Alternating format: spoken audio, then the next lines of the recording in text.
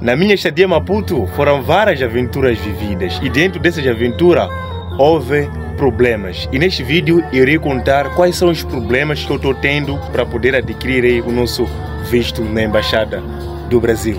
Então, meus amigos, para quem não me conhece, chame de Ego. Eu vivo em Moçambique, concretamente na cidade do Dono. Vamos amigos, caso ainda não seja inscrito, quero te pedir mais uma vez que seja inscrito aqui do canal para que sempre acompanhe as nossas novidades mais próximas. Para isso, ative o sininho das notificações que sempre estará bem acompanhado com as nossas novidades. Então pessoal, sem mais delongas, vamos que interessa no nosso vídeo, mas primeiro vamos passar para a nossa vinheta.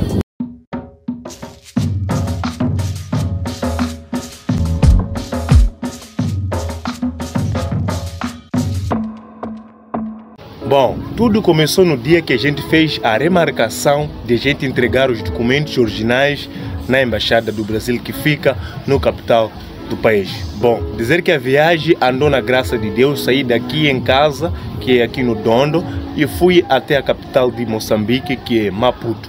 Chegando lá, cheguei eh, dois dias antes para poder me preparar, ver que meus documentos são completos, conhecer o local onde é e tudo andou na graça de Deus. Conheci os locais que onde eu poderia percorrer para poder deixar os documentos. Bom, chegado o dia de entregar os documentos, saí de casa, que a hora de entrega dos documentos era às 13, né? Ainda tinha que ser em casa lá para as 9, saí de casa às 9, a caminho de lá. Também quero agradecer ao irmão Helder, foi ele que me acompanhou nessa toda aventura e também ele me hospedou lá e eu quero agradecer de coração, irmão Helder. Um forte abraço para ti, um forte abraço para todo mundo que pode me ajudar com a nossa estadia lá. Então, meus amigos, continuando, né? Depois de eu ter saído em casa caminho eh, da embaixada, né, com os documentos na mão, chegamos lá, eles sempre com aquelas exigências, me perguntaram o nome, de ter o meu nome, disseram assim, está na lista, pode entrar. Entramos lá dentro, foi muito tranquilo, é aquela pessoa que nos atendeu, é, né? Então, ele me disse o que vem fazer, eu disse meu pedido, né? Venho deixar os documentos. Então, depois ele disse, traga os documentos. Eu deixei os documentos, depois de deixar, ele começou a verificar tudinho aí. E aí onde começou todo o problema. Aí minha cabeça ficou explodindo, que poxa, nada mais vai dar certo na vida. Mas Deus falava para mim, Diego, não se preocupe, porque quando eu quero, nada é, fica por baixo. Daí ele disse que não, tem algumas coisas que estão desatualizadas e precisa atualizar. Eu, puxa, eu quero mais. Ela me disse que não, tem extratos bancários seus que estão desatualizados, precisa atualizar.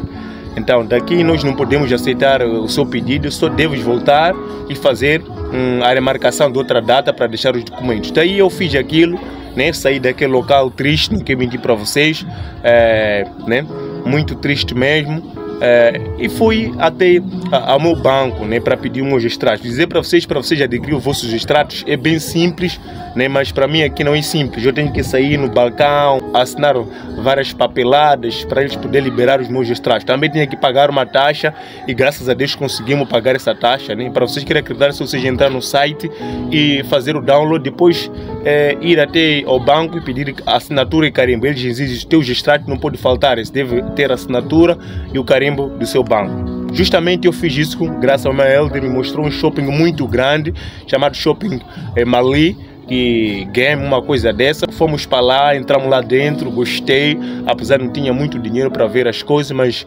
entrando lá dentro procuramos o nosso banco e pedimos nosso extrato tudo de boa. Fomos dar nossos extratos, eu cheguei em casa, apesar que foi muito cansativo, né? Consegui só voltar em casa já de noite, porque sei de manhã. E daí eu fiz a remarcação para dia seguinte, né? Fiz a remarcação para dia seguinte, né? Com o mesmo intuito. É, mas pessoal, quero vos dizer que não está, não está sendo nada fácil, né? É, eu não sei, mas eu só quero, eu só quero colocar tudo nas mãos de Deus, né? Porque não está sendo fácil, né? Eu pensava que ia ser algo muito simples, que era daqui para aqui as coisas se resolvem. Estamos a ter esse, esse problema, dizer para vocês, então por isso eu queria vos acompanhar, eu queria vos atualizar com esta informação, né? Para vocês ficarem a saber, né? Do que está acontecendo. Não está sendo fácil a gente adquirir o nosso visto para a saída para o Brasil. Do coração, eu só quero agradecer a todas as pessoas que se puseram presente, que ajudaram, né? A minha saída daqui, é, com as coisas também que eu falava aí para vocês, né? Que eu preciso lá. Então, de coração, eu sou muito grato, né? Desde então eu já voltei, né? Mas, é assim, é, eu digo uma coisa. Há uma palavra que diz assim, Deus é pai, não é padrasto. Então, eu reconheço bastante que com Deus, quando a gente crê, tudo acontece nas mãos de Deus. Então só quero agradecer bastante e continuando, né? Já chegado a data que a gente havia remarcado outro dia, é, deixamos, né? Graças a Deus, né? Graças a Deus, não falaram mais outra coisa, porque eu já estava aquilo desanimado com as coisas e deixamos documentos apenas acreditando no nosso bondoso Deus. E Ele vai poder fazer maravilha na nossa vida. Apenas que nos resta é a gente rezar bastante, é só colocar tudo nas mãos de Deus, porque Deus vai poder realizar. Se é no tempo de Deus, as coisas vão acontecer. Acredita, porque Deus nunca nos abandona. E para Deus nada é impossível. Tudo é possível quando a gente crê. Então, meus amigos, a gente fica por aqui. Apenas queria vos atualizar com essa notícia, que não está nada fácil. É, mas assim, quando as coisas não estão, quando as coisas estão difíceis, não procura aquele caminho né, de desistir, porque não está a fazer nada. Primeiro, é, olhe onde você saiu e onde você vai. Então, o que me fez eu não desistir é, é que eu olhei a direção onde eu estava a sair para deixar tudo, então não dava. Então insisti, insisti, insisti.